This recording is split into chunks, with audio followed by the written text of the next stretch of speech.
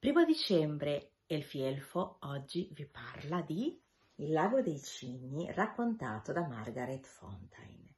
Si tratta di una versione a fiaba, a storia, a racconto del famoso balletto di Tchaikovsky Il lago dei cigni.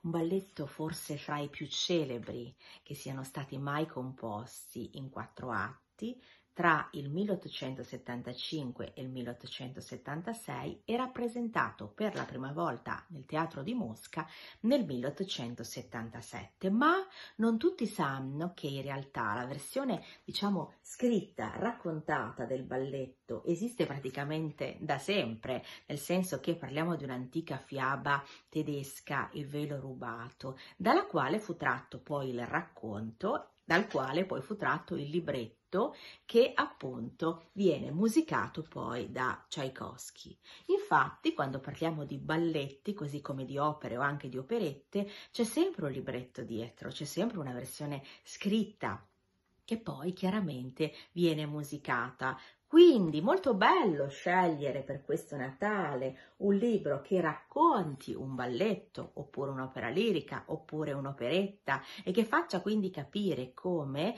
eh, in realtà il prodotto finale, in questo caso il balletto in quattro atti, è un, mh, mm, una combinazione perfetta eh, tra musica e parole e forse anche le parole in un certo senso, se sono ben scelte, possono esse stesse diventare musica. Sì, questo me lo segno perché è molto interessante. Comunque io con questo vi saluto e vi do appuntamento al 2 di dicembre. Ciao da Elfo Elfi!